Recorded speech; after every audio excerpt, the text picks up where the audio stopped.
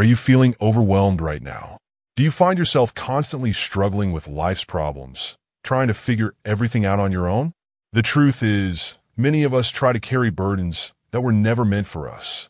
We think we can handle everything. But here's the good news. You don't have to. God wants to take total control of your situation. There's a peace that comes when you stop striving and surrender everything to Him.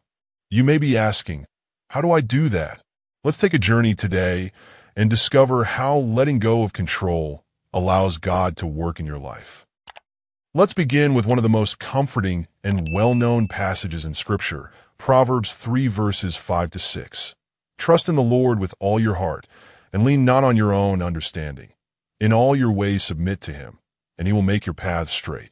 This verse holds so much power and meaning, especially when you're facing challenges or uncertainty. It calls for complete trust in God with all your heart, not just partial trust or trusting God when things are easy, but giving him your full confidence, even when things don't make sense. That's the hardest part for many of us, isn't it? It's easy to trust when life is going well, but when things are hard, we tend to lean on our own understanding. The next part of the verse tells us, lean not on your own understanding. That's a call to action. It means you must let go of trying to figure everything out on your own. Your understanding is limited. You can only see part of the picture, but God sees the whole thing. He knows the end from the beginning. When you stop leaning on your own understanding, you make room for God's perfect wisdom. The verse continues, In all your ways submit to him. This means in everything you do, in every decision, you acknowledge God. You seek his will and guidance first, not as a last resort when things get out of control. To submit means to surrender your plans, your desires, and your timeline to Him. It's trusting that His ways are higher and better, even when you can't see the full picture yet. Finally, we're given a promise. He will make your path straight. This means that when you trust God completely, He will direct your steps. He will lead you to the right path, the best path, the one that aligns with His good plan for your life. Maybe right now your path feels crooked or unclear, but God promises to straighten it out. He will lead you, but only if you allow him to take control. Let's also look at Isaiah 55 verses 8 to 9, where God reminds us, For my thoughts are not your thoughts, neither are your ways my ways. As the heavens are higher than the earth, so are my ways higher than your way, and my thoughts than your thoughts. This is a beautiful reminder that God's perspective is much higher and wider than ours. When you let him take control, you're choosing the higher way the way that leads to peace, provision, and purpose. In summary, the scriptures remind us over and over again to stop striving in our own strength. Instead, we are called to trust, submit, and rest in God's wisdom. His plans are always better. His timing is always perfect, and his path for your life is far straighter and more purposeful than the one you can create for yourself. As we reflect on this, it's important to recognize that your struggle is real but so is God's power. We all face struggles. Maybe you're dealing with financial issues, family problems, or health challenges. Perhaps you feel lost, wondering how you'll ever get through this season. Let's be honest, life can feel like a constant uphill battle. But I want to remind you that while your struggle is very real, God's power is even more real. And it's greater than any obstacle you are facing right now. Many of us tend to believe that if we just push harder or do more, we'll eventually solve the problem. But here's the thing. God never intended for you to carry that weight alone. The struggle you're facing may be too big for you, but it's never too big for God. Isaiah 40 verse 29 reminds us, He gives strength to the weary and increases the power of the weak. When you feel like you're at your breaking point, God steps in with His strength. Think of it this way. If you've ever been caught in a strong current while swimming, the harder you fight against the current, the more exhausted you become. But the moment you stop fighting and let the current carry you, you realize that you can float. God is that current. When you stop struggling on your own and let him carry you, you'll find peace even in the midst of your troubles. In the Old Testament, we see this truth clearly in the story of the Israelites. They faced impossible odds against Pharaoh's army as they stood before the Red Sea. They had no way out. But instead of panicking, Moses told them, The Lord will fight for you. You need only to be still. Exodus 14, verse 14. And what happened next? God parted the Red Sea. The very thing that looked like an obstacle became the path to their victory. The same is true in your life. What feels like a dead end or an overwhelming struggle might just be the place where God wants to show you his power. If you're facing something impossible right now, don't lose heart. God is with you. Just like he delivered the Israelites, he could deliver you too. But first, you need to stop fighting in your own strength and allow him to take over. So, what does this look like practically? It means giving God space to work. It means letting go of the idea that you have to fix everything. It means acknowledging that God is in control. Sometimes the hardest thing to do is nothing, to be still and trust that God is fighting your battles. But that's where true faith comes in. The key is remembering that your struggle is temporary, but God's power is eternal. You don't have to keep wrestling with your situation. Instead, place it in God's hands. He's more than able to carry what you can't. He knows your needs, He sees your pain, and He's ready to step in when you surrender the situation to Him. Remember, God is not distant. He is close. He's not ignoring your struggle. He cares deeply about what you're going through, and He is fully able to lift that burden. In fact, Jesus invites you to do just that. In Matthew 11 verses 28 to 30, He says, Come to me, all you who are weary and burdened, and I will give you rest. Take my yoke upon you and learn from me, for I am gentle and humble in heart, and you will find rest for your souls. For my yoke is easy and my burden is light. If you're weary from the struggle, it's time to exchange your burden for His. Let God's power move in your life today. Stop struggling and let Him take total control. You've recognized that your struggles are real and God's power is available to you. But how do you move from battling these challenges on your own to truly embracing His strength? Let's explore the next step understanding that letting go of control doesn't mean giving up. Instead, it means trusting in a higher plan, one that knows exactly what you need in every moment of your life. Surrendering to God doesn't mean you're giving up. It means you're letting go of the need to figure everything out by yourself. There's a big difference between giving up in frustration and letting go in trust. When you give up, you're saying, I can't do this, and I have no hope. But when you let go, you're saying, God, I trust that you can do what I cannot. It's not about quitting. It's about releasing control to the one who has all power, wisdom, and love for you. Think about it this way. When a child is struggling to tie their shoelaces and they can't seem to get it right, eventually they stop trying and ask their parent for help. The parent steps in and effortlessly ties the shoes. The child didn't give up on wearing shoes. They just realized they needed help. In the same way, when you surrender to God, you're not quitting on your situation. You're simply acknowledging that God is much more capable than you are. Trusting God means believing that he sees the whole picture, even when you only see a piece of the puzzle. Isaiah 55 verses 8 to 9 reminds us, For my thoughts are not your thoughts, neither are your ways my ways, declares the Lord. As the heavens are higher than the earth, so are my ways higher than your ways, and my thoughts than your thoughts. This scripture shows that God's perspective is far above ours. He knows what is best for you, even when you don't understand why certain things are happening. Letting go also means giving God room to work. When we try to control everything, it's like holding onto a rope so tightly that our hands hurt. But the moment we release that rope, we allow God to move. It doesn't mean everything will change instantly, but it does mean that we've stepped aside so that God can step in. And when he steps in, he brings solutions, peace, and healing in ways that we could never have imagined. Think about how Jesus calmed the storm for his disciples.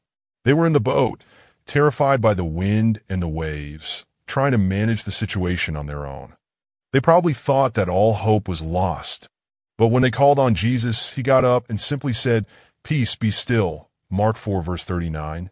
In an instant, the storm stopped. That's the power of letting go. When you stop trying to handle everything and instead bring your troubles to God, He speaks peace into your storm and everything begins to change. God's timing is perfect and His ways are better than anything you can plan. He knows exactly what you need and when you need it. Sometimes we want things to happen immediately, but God is working on a bigger picture. He's aligning things in the background that we can't even see yet. Your job is not to figure out how it will all work out. Your job is to trust Him enough to let go and believe that He will. So, surrender is not defeat. It's the ultimate victory because it invites God's power into your life. When you let go, you're placing your situation in the safest hands there are God's hands. Trust that He will take care of you because He always does. As we pause to recognize the power of God in our struggles, it's essential to understand that letting go doesn't equate to giving up. Instead, it opens the door to a deeper trust in His plan. You see, surrendering your challenges to God means embracing a faith that transcends your fears. This leads us to the next vital truth. God's plan for your life is far greater than any fear you may hold. When you confront those fears and lay them at His feet, you'll find that His promises far exceed the limitations of your own understanding. Fear keeps many of us from letting go. We're afraid of losing control, afraid things won't work out the way we hope. But God's plan for your life is always bigger and better than what you can imagine. Jeremiah 29 verse 11 reminds us, For I know the plans I have for you, declares the Lord, plans to prosper you and not to harm you, plans to give you hope and a future. When you release your fears and trust His plan, you step into something greater than you could ever achieve on your own. Fear often comes from the unknown. You may be thinking, what will happen if I let go? What if things don't go my way? But here's the truth. Fear only thrives when we focus on what could go wrong. The enemy wants you to live in fear because it paralyzes you. It keeps you stuck worrying about things that might not even happen. But when you trust in God's plan, you don't have to worry about every detail. You know He's got it under control. Think of it like this. Imagine you're holding onto a rope for dear life, afraid to let go because you think you'll fall. But what if letting go means landing in the arms of the one who never lets you fall? That's what surrendering to God is like. His arms are there to catch you, and his plan is greater than the rope you're clinging to. God's plan doesn't always make sense in the moment. You might be facing situations where you wonder, how could this possibly be part of God's plan? But remember, Isaiah 55 verses 8 to 9 says, For my thoughts are not your thoughts, neither are your ways my ways, declares the Lord. As the heavens are higher than the earth, so are my ways higher than your ways, and my thoughts than your thoughts. What you see as a setback, God can use as a setup for something greater. Look at the story of Joseph in the Bible. He was betrayed by his brothers, sold into slavery, falsely accused, and thrown into prison. It would have been easy for Joseph to live in fear or question God's plan. But in the end, God used every painful situation to elevate Joseph to a position of power in Egypt. He said to his brothers in Genesis 50 verse 20, You intended to harm me, but God intended it for good, to accomplish what is now being done, the saving of many lives. Just like Joseph, the things in your life that seem uncertain or painful can be the very things God uses to bring about something far greater than you expect. Fear loses its power when you place your trust in God. The more you trust Him, the smaller your fears become. Fear says, what if? But faith says, even if. Even if things don't go the way you planned, even if the road is hard, God is still in control, and His plan is still good. Trust that He is always working for your good, even in the midst of fear and uncertainty. When you release your fears and trust His plan, you step into something greater than you could ever achieve on your own. This brings us to an essential truth. While fear tries to bind you, surrender brings a profound peace. One of the greatest misconceptions people have is thinking that surrendering control means things will fall apart. But in reality, when you surrender to God, you're not stepping into chaos. You're stepping into peace. Think about it this way. When you're trying to control everything, it's like holding onto a rope that's pulling you in every direction. You get tired, frustrated, and overwhelmed. But when you let go, it doesn't mean you're giving up. It means you're letting God take hold of that rope. And when God takes control, he doesn't just stop the chaos, he brings peace. The kind of peace that calms your heart, even when everything around you seems uncertain. Jesus himself promised us peace. In John 14, verse 27, he said, Peace I leave with you, my peace I give you. I do not give to you as the world gives.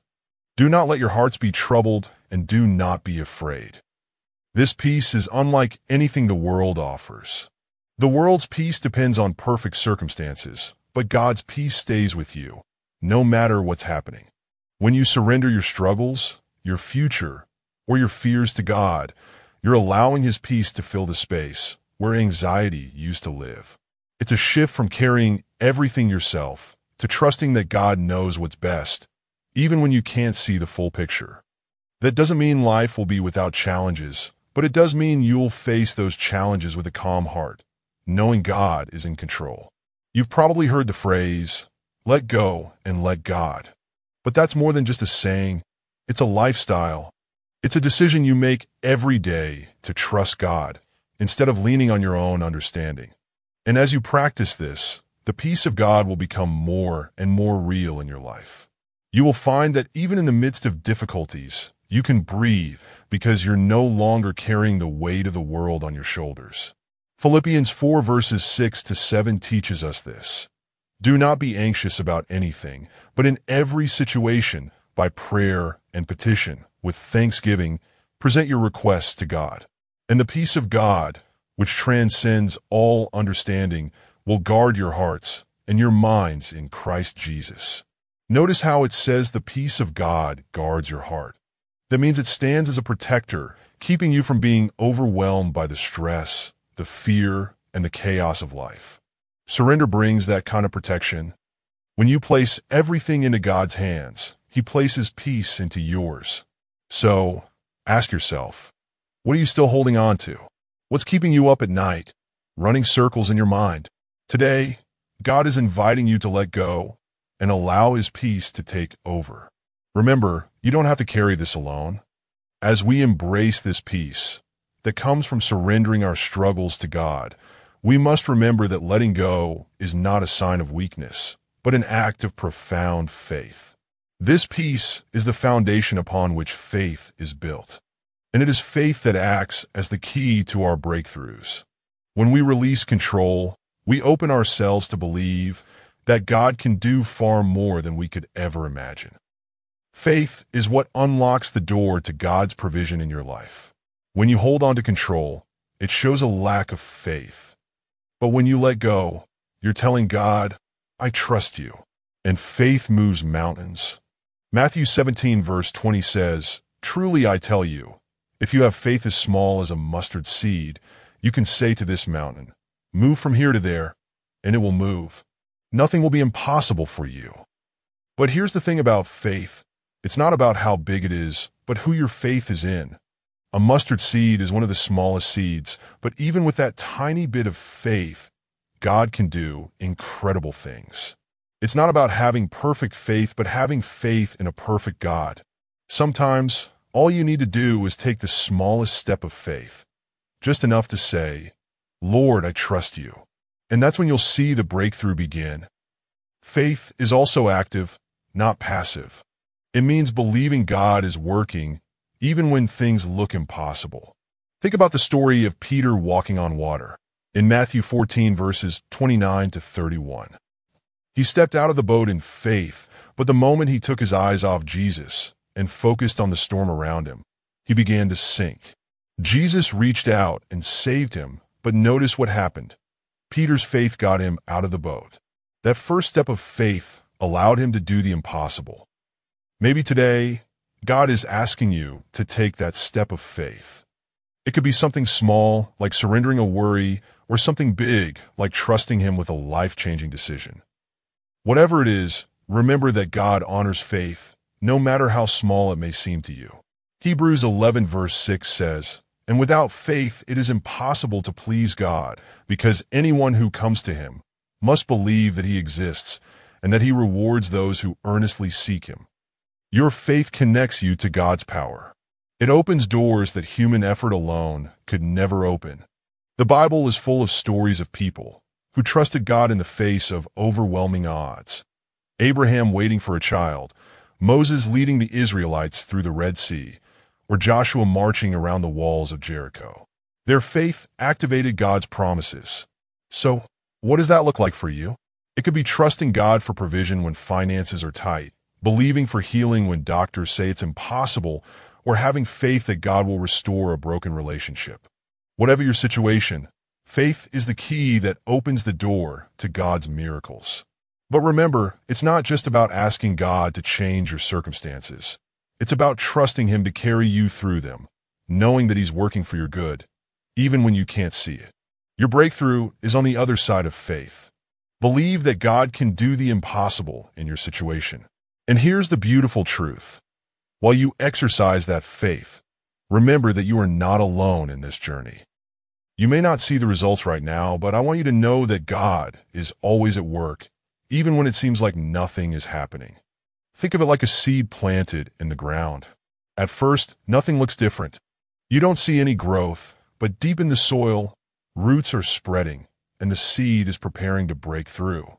Just because you don't see the changes right away doesn't mean that God isn't moving.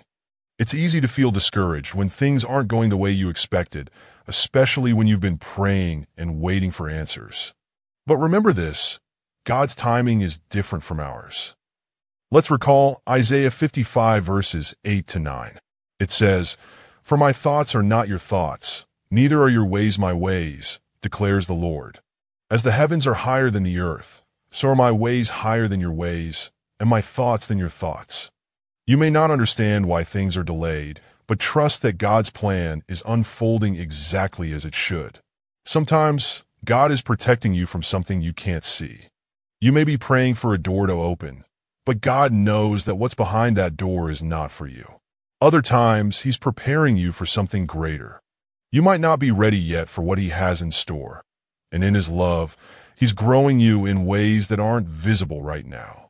But every prayer, every act of faith, is preparing you for the moment when His answer is revealed. Let's go back to the story of Joseph in the Bible. Joseph endured so much pain and suffering and it looked like nothing was going right in his life. But behind the scenes, God was positioning Joseph for a greater purpose. Every setback was setting the stage for Joseph to step into the role of leadership that God had prepared for him all along.